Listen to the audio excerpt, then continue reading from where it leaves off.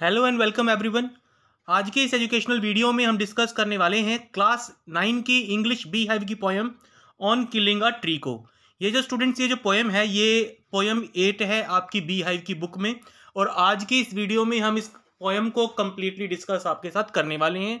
आपको complete poem की summary इसमें यूज़ हुई राइम स्कीम इसमें यूज़ हुए पोइटिक डिवाइसेस के बारे में सिंबॉलिक मीनिंग के बारे में पोएम की लिटरल एक्सप्लेनेशन सब कुछ आपको इस वीडियो में कुछ ही मिनटों में सब कुछ पूरा करवा दिया जाएगा।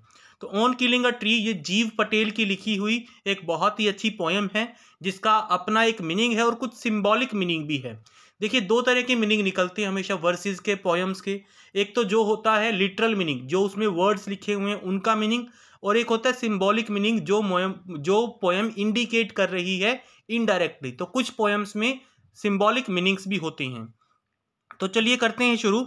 सबसे पहले क्या है? It takes much time to kill a tree not a simple jab of knife will do it क्या कहता है कि किसी पेड़ को मारने के लिए, किसी पेड़ को जड़ से ख़त्म करने में बहुत समय लगता है, बहुत टाइम और एफर्ट लगता है। सिर्फ़ चाकू का एक वार जैब ऑफ़ द नाइफ का मतलब चाकू का एक वार काफ़ी नहीं होता एक पेड़ को ख़त्म करने के लिए। It has grown slowly consuming the earth जो पेड़ है वो धीरे धीरे इस अर्थ को कंज्यूम करते हुए बड़ा हुआ है। यहाँ पे जो ये वर्ड है कंज्यूमिंग द अर्थ इसका मतलब है कि जब पेड़ बड़ा हो रहा था तो उसने वाटर मिनरल्स और बाकी चीज़ें एब्जॉर्ब की थी सोयल में से। इसलिए यहाँ पे यूज़ किया गया है consuming the earth rising out of it feeding upon its crust absorbing years of sunlight air and water and out of its leprous hide sprouting leaves क्या कहता है ये? राइजिंग आउट ऑफ़ इट ज़मीन में से ऊपर की तरफ़ बड़ा है ये पेड़। Feeding upon its crust earth के क्रस्ट से खाना लेते हुए। अर्थ के क्रस्ट में से खाना लेते हुए फ़ीड करते हुए ये बड़ा हुआ है। कई सालों तक इसने सनलाइट एयर और वाटर का भोजन किया है। यानी कई सालों तक लगातार इसको सन से सनलाइट हवा से एयर और मिट्टी से पानी मिला है। तब जाके ये ग्रो करना शुरू किया है। And out of its leprous hide अब ये देखिए यहाँ पे लेप्रस हाइड का क्या मतलब है? लेप्रस हाइड का मतलब है बार्क ऑफ़ द ट्री जो पेड़ की भूरे रंग की छाल होती है, उसको लेप्रस हाइड कहा गया है। लेप्रोसी एक रोग होता है स्किन डिज़ीज़ होती है, एक तरह की लेप्रोसी जिसको कुष्ठ रोग या कोड भी कहा जाता है रेगुलर लैंग्वेज में। उसमें क्या होता है, हमारी स्किन का कलर अजीब सा हो जाता है अलग अलग कलर का हो, अलग कलर की हो जाती है स्किन हमारी। तो क्या कहा है लेप्रस हाइड यहाँ पे किसको कहा गया? बार्क ऑफ़ द ट्री पेड़ की छाल को कहा गया है। तो क्या कहता है कि पेड़ जो है, वो अपने बार्क में से बाहर निकलता है, अपनी पत्तियों को स्प्राउट करता है, अपनी पत्तियों को उगाता है जर्मिनेट करता है, पत्तियों को उगाता है। ठीक है, यानी बहुत मेहनत लगी है, बहुत टाइम लगा है इस पेड़ को ग्रो करने में। अगर आप ये सोचते हैं कि एक सिंगल जैब ऑफ़ नाइफ से खत्म हो जाएगा तो ऐसा नहीं होने वाला। आगे देखिए, आगे क्या कहता है? So hack and chop but this alone won't do it इसलिए हैक एंड चॉप तो आप कीजिए। हैक एंड चॉप का मतलब उस पेड़ की ब्रांचेस को काट दीजिए। हैक का मतलब होता है रफली किसी के ऊपर चाकू चलाना। किसी पेड़ के ऊपर रफली की बिना कोई डायरेक्शन देखे चाकू चलाना। तो हैक एंड चॉप आप कर दीजिए। यहाँ पे हैक एंड चॉप का मतलब है उस पेड़ की ब्रांचेस को काट देना। पेड़ की ब्रांचेस को काट काट के अलग कर देना। ठीक है? लेकिन इससे आपका काम नहीं होगा, वो पेड़ नहीं खत्म होगा। Not so much pain will do it इतना सा पेन इतना सा पेन ये सब नहीं कर पाएगा। The bleeding bark will heal क्या कहना चाह रहा है ये? The bleeding bark will heal and from close to the ground will rise curled green twigs यहाँ पे ये मेटाफर यूज़ किया गया ब्लीडिंग बार्क ऊपर लेप्रस साइड में भी मेटाफर यूज़ किया गया था। भाई वर्ड्स कुछ हैं लेकिन इंडिकेट कुछ कर रहा है। ब्लीडिंग बार्क का मतलब ये है यहाँ पे कि जो आप जब चाकू चलाओगे पेड़ के तने के ऊपर तो उसके ऊपर जख्म या निशान तो होंगे, ठीक है? लेकिन वो जख्म वाले जो निशान है, वो जल्दी ही हील हो जाएँगी, ठीक हो जाएँगे। तो ब्लीडिंग बाग का मतलब है कि आपने जो उसको जख्म दिए होंगे, चाकू चला के, वो जल्दी ही हील हो जाएँगी। और ग्राउंड के पास से फिर हरी हरी टहनियाँ निकलेंगी। कर्ल्ड घुमी हुई और हरी हरी टहनियाँ निकलेंगी। क्या कहता है ये कि अगर आप उसको जड़ से ख़त्म नहीं करेंगे तो दोबारा फिर से हरी टहनियाँ उगनी शुरू हो जाएँगी, ये कहना चाह रहा है ये। Miniature boughs which which if unchecked will expand again to former size miniature boughs का मतलब क्या है? पहले तो छोटी छोटी टहनियाँ निकलेंगी। एक जंगल का छोटा सा नमूना आपको दिखाई देगा। एक पेड़ का छोटा सा नमूना आपको दिखाई देगा। इसलिए इसको मिनी मिनिएचर बाउज कहा गया है। लेकिन अगर आपने उसको चेक नहीं किया, अगर आप उसने, आपने उसको रोकने की कोशिश नहीं की तो वो दोबारा अपने पुराने पेड़ की तरह, पुराने साइज़ का, बड़े साइज़ का हो जाएगा। तो क्या कहना चाहता है? बेशक आप उसको हैक एंड चॉप कर दीजिए, उसकी सारी टहनियाँ, सारी पत्तियाँ काट दीजिए, लेकिन फिर भी आप उस पेड़ को मार नहीं पाएँगे, खत्म नहीं कर पाएँगे। क्यों? क्योंकि उसके आसपास से कहीं कहीं से ग्रीन कलर की ट्विग्स वगैरह, ठीक है, हरे रंग की टहनियाँ उगनी शुरू हो जाएँगी और फिर वो पेड़ वैसा ही हरा भरा हो जाएगा जैसा कि पहले हुआ करता था। No the root is to be pulled out नहीं, आपको रूट जड़ से उखाड़ना है उस पेड़ को। Out of the anchoring earth anchoring earth का मतलब यहाँ पे, देखिए यहाँ पे एंकरिंग अर्थ क्यों यूज़ किया गया है? अर्थ उसको एंकर कर रही है। अर्थ उसको संभाले हुए है। जो धरती है, जो मिट्टी है, जो लैंड है, जो सॉइल है, वो उसको पकड़ी हुई है, उसको एंकर कर रही है। उसको ग्रो करने में हेल्प भी कर रही है और उसको ग्राउंड में फिक्स भी किए हुए है। तो उस एंकरिंग अर्थ से उसको पुल आउट करना होगा। किसको पुल आउट करना होगा? पेड़ को ज़मीन में से, मिट्टी में से उखाड़ना होगा, बाहर निकालना होगा।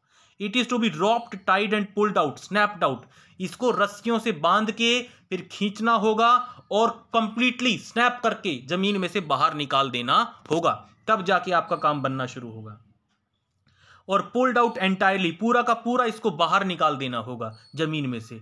Out from the earth cave जो इसने एक तरह की गुफा बना के खुद के लिए जगह बना रखी है मिट्टी के अंदर, वहाँ से इसको उखाड़ निकालना होगा। And the strength of the tree expose जब आप उसको बाहर निकालोगे, पेड़ को, तब आपको पता चलेगा कि उस पेड़ की असली ताकत क्या है। ठीक है? ये क्या कहना चाह रहा है? यहाँ पे इस लाइन में ये कन्वे कर रहा है कि उस पेड़ की असली ताकत उसकी जड़ें हैं। पहले जो जड़ें ज़मीन के अंदर छुपी हुई थी, अब वो एक्सपोज हो गई हैं। अब अब वो आपको नज़र आने लगी हैं। The source white and wet जो सोर्स है पेड़ का, जहाँ से पेड़ ने उगना और बड़ा होना शुरू किया है, यानी उसकी रूट्स जो कि वाइट कलर की हैं और वेट हैं the most sensitive hidden for years inside the earth ये उस पेड़ का सबसे सेंसिटिव पार्ट भी है सेंसिटिव क्यों? क्योंकि अगर आप जड़ पे अटैक करोगे तो पेड़ खत्म हो जाएगा।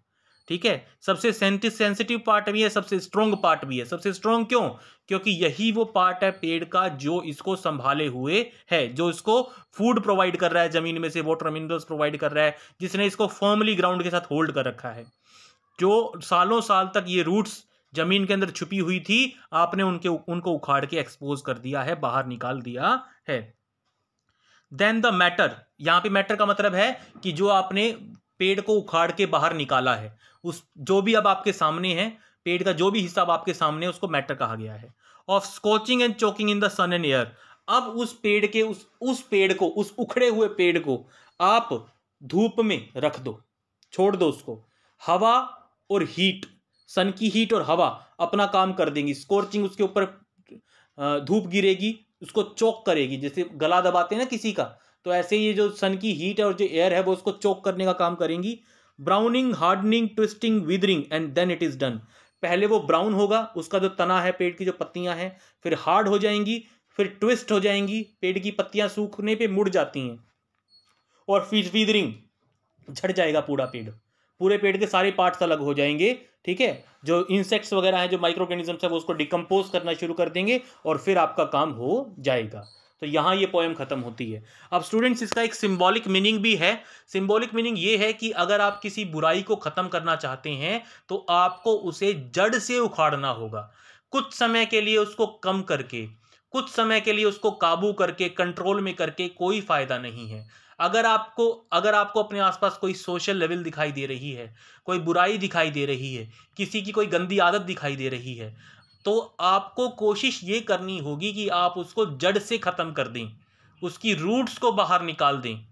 क्योंकि अगर आप उसके ऊपर कुछ कंट्रोल करने की कोशिश करेंगे हल्का फुल्का एफर्ट करेंगे तो हो सकता है कि कुछ दिन के लिए तो आपको लगे कि आप कामयाब हो गए हैं। लेकिन जल्दी ही वो जो बुराई है, वो जो गलत चीज़ है, वो उभर के दोबारा सामने आ सकती है। तो ये इसका सिंबॉलिक मीनिंग भी है। जहाँ तक स्टूडेंट्स राइम स्कीम की बात है तो इसमें कोई राइम स्कीम यूज़ नहीं की है, कोई डेफिनेट राइम स्कीम नहीं है इस पोएम की। जहाँ तक इसमें पोइटिक डिवाइसेस का सवाल है तो मेटाफर्स दो जगह मैंने आपको बताई यूज़ किए गए हैं। ब्लीडिंग बार्क में लेप्रस हाइड में, यहाँ पे मेटाफर्स यूज़ किए गए हैं। एलिट्रेशन यहाँ पे कुछ जगह पे यूज़ की गई हैं, ठीक है? जैसे ब्लीडिंग बार्क में बी बी रिपीट हो रहा है तो वहाँ पे इसने एलिट्रेशन भी यूज़ की है। जहाँ पे सन वर्ड का यूज़ इसने किया था इससे पहले, वहाँ पे भी इसने एस को रिपीट किया था, वहाँ भी एलिट्रेशन का यूज़ किया जा रहा था। तो स्टूडेंट्स ये पोएम आपकी यहाँ खत्म होती है। अगर आपको वीडियो पसंद आया तो प्लीज़ इसको लाइक करना मत भूलिएगा। आपके एक लाइक हमारे लिए बहुत वैल्यूएबल है। कमेंट सेक्शन में अपनी राय दीजिएगा और सब्सक्राइब तो आप कर ही लेंगे। आपको कहने की ज़रूरत नहीं है, क्योंकि आपको वीडियो पसंद आया है। I am sure of it जाने से पहले एक बार वीडियो की डिस्क्रिप्शन को ज़रूर से ज़रूर चेक कीजिएगा, क्योंकि वहाँ आपको इंग्लिश के एसएस के साइंस के मैथ्स के, अपनी क्लास के कंटेंट देखने को मिलेंगे चैप्टर एक्सप्लेनेशन देखने को मिलेंगी। तो आपकी बड़े काम आने वाली हैं तो एक बार आप वीडियो डिस्क्रिप्शन में दिए गए लिंक्स को ज़रूर से ज़रूर चेक कीजिएगा। Thank you for being with us keep loving keep supporting